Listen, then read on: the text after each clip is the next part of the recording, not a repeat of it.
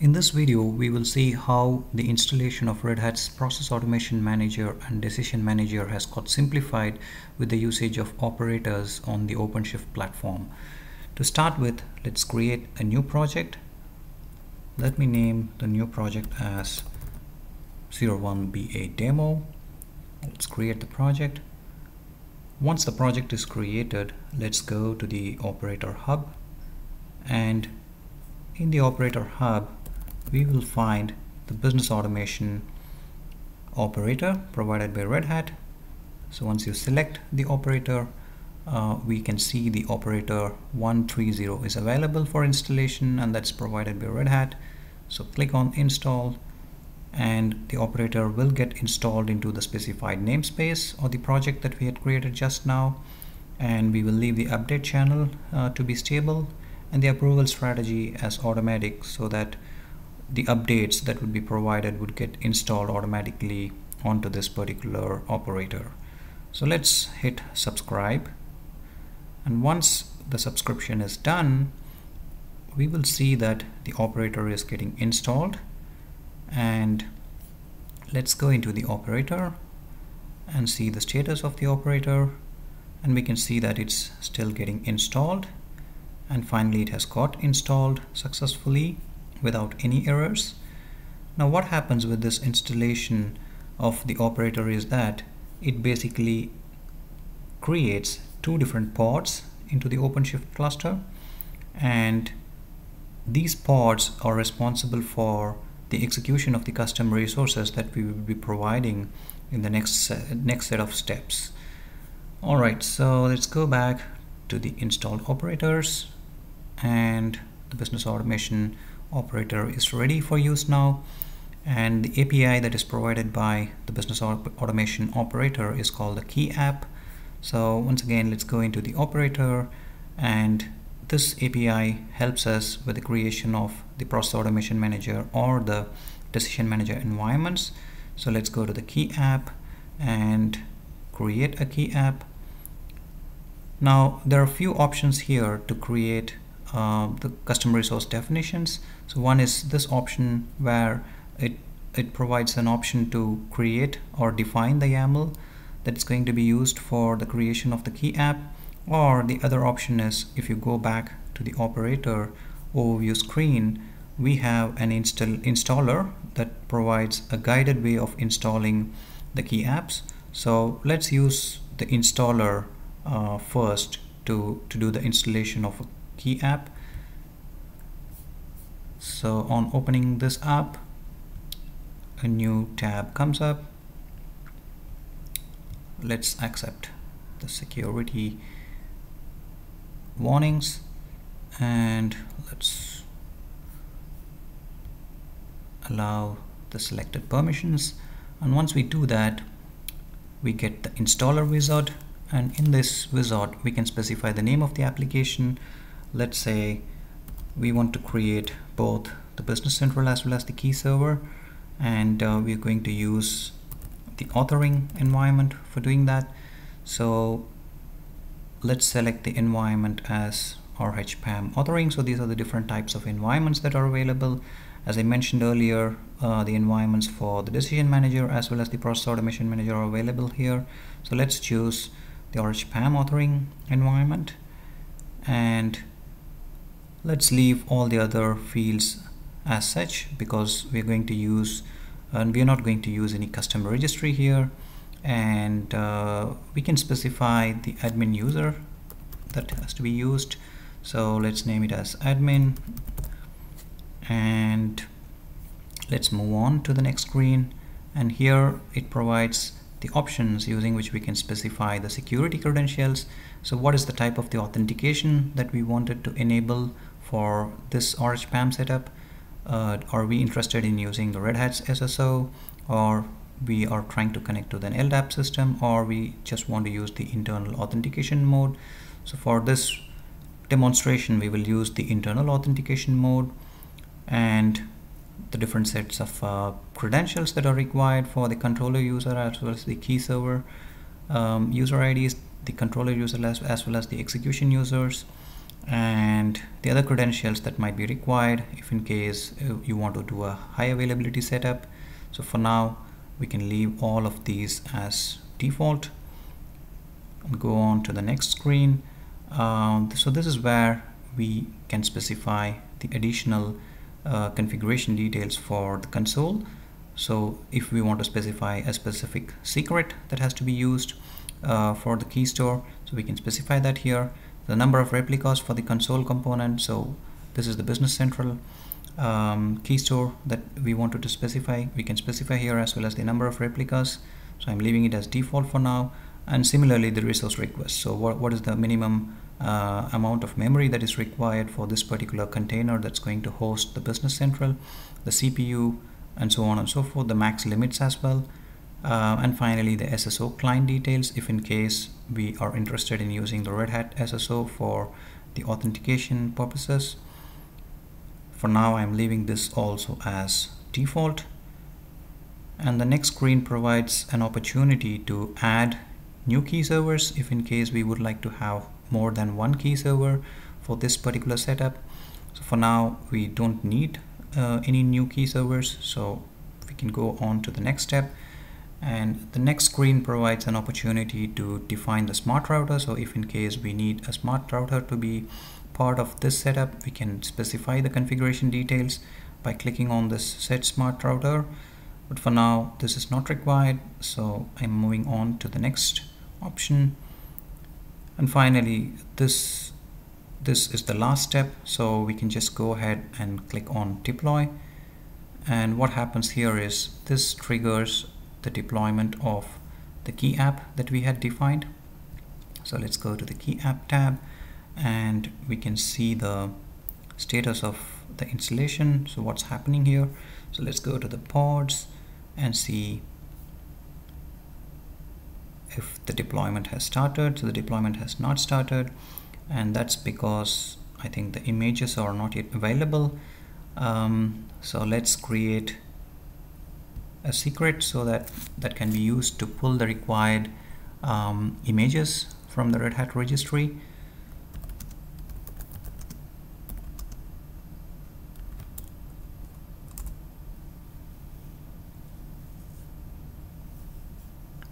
Okay so the secret seems to be already existing.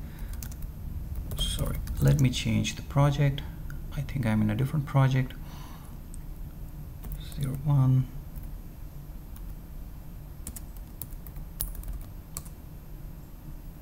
all right let me create the secret here. So once the secret is created let me switch back and see if the images are available. So let's go to the builds image streams. Alright so the images are not yet available. So let's try to import this image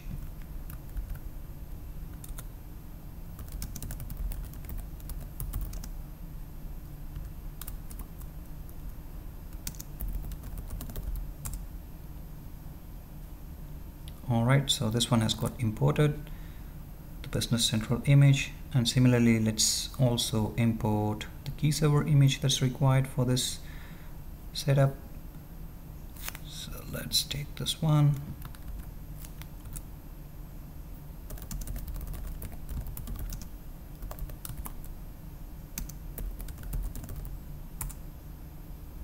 And this one has also got imported and hopefully with this in place uh, the deployment should have got started. So let's go to the deployment configs and see what's going on there. Alright so this config has started already. And let's go to the pods. And we can see that the creation of the business central as well as the KIE server is going on. I think um, the business central um, is, is already ready. Sorry not yet ready still the containers are not ready. And and the same is the case with KIE server as well it's still getting created. So let's wait for few minutes for it to fully get created. Alright, now we can see that both the KIE server as well as the Business Central pods are up and running and they are in ready state. So this completes the installation of both these um, components, the KIE server as well as the, Business Central. Now there is another way also by which we can create uh, more KieApps. So let's go back to installed operators and uh, the key app. So uh, in this in this installation we had actually used the installer wizard that's there as a part of the operator. Uh, but uh, as a next step what we would be doing is to directly use the custom resource definitions and we will also be creating a KieApp with persistence as well for the KIE server.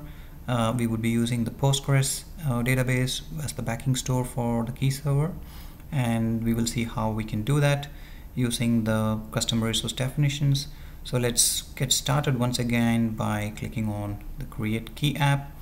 And in here you can see the the default uh, definition.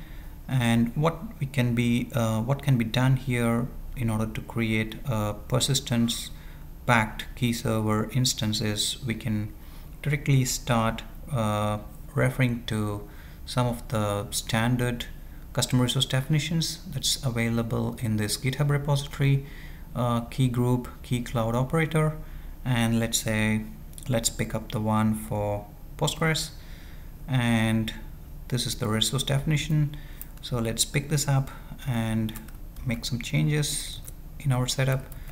So let me put this as the same uh, but we need only one deployment here and the environment that we are looking for is uh, the RHPAM authoring environment. So let's change that to authoring.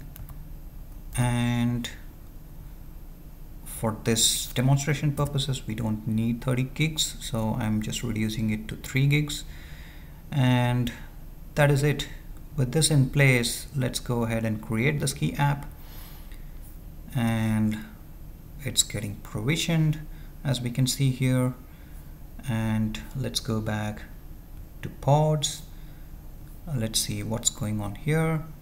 And we can see that it's getting initialized. The required set of pods are getting initialized. And it will also be initializing a Postgres database pod uh, which we can see from from this one. So this is the Postgres database pod and similarly we also have the business automation sorry the business central pod as well as the KIE server pod coming up. So this is the KIE server this is the uh, business central pod still trying to come up. So we will give it few minutes and uh, then we can see that these pods will also be in running state.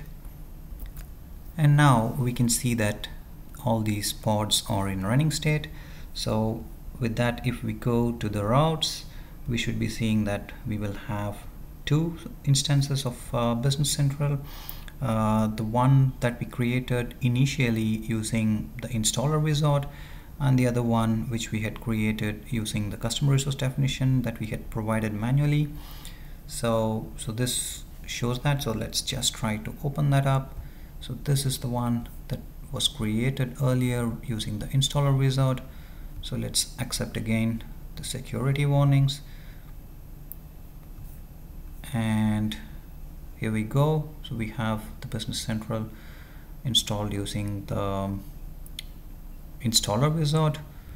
And we also have the other instance which was created using custom resource definition that we had provided.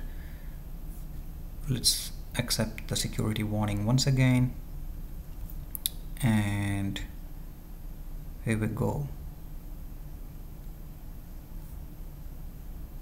we have this instance as well up and running. All right. Now an important uh, another important um, aspect that I would like to highlight here is that when we had created the operator uh, it has automatically created different sets of resources behind the scenes. Uh, some of the resources uh, that are of prime importance for us to understand how um, the creation of these different components using the KieApp happens behind the scenes is specifically the config maps that we can see here. Uh, for instance, let's pick up one of the config maps, uh, which is key configs and the version number followed by envs. So it, this one shows the different configurations that we have as a part of this operator for different types of environments like authoring HA is, is, this is this different this is the specific set of configuration that it would be using for that and if we scroll down um, we would see similar set of configurations uh, that are available for other types of environments. For example we have RHDM authoring. So the first one was for HA and this is non-HA and we also have production immutable for decision manager. And similarly we will also be having um, the other um, configurations. For instance let's pick up one of them. Um, for instance the process automation manager authoring one here. And going back to the config maps uh, we will also be having other types of uh, configurations. For example the database related configurations uh, that is used by the operator can be found here. So this is the YAML that is for external databases. So in in this particular case um, the, the database is has to reside outside the OpenShift cluster. So in that case you can the operator will be using this particular configuration. Uh, whereas in our case when we had used the Postgres database so we have uh, a specific configuration for that uh, in a config map uh, that's available here and so on. So similarly there are few more configuration maps um, that are there for each version of the key config um, the each version of the KIE servers. So this one is the 760 and uh, so here we have the JMS related configurations uh, which would be used when we would when we use the specific HA configurations and so on so this completes the recording and uh, thanks for watching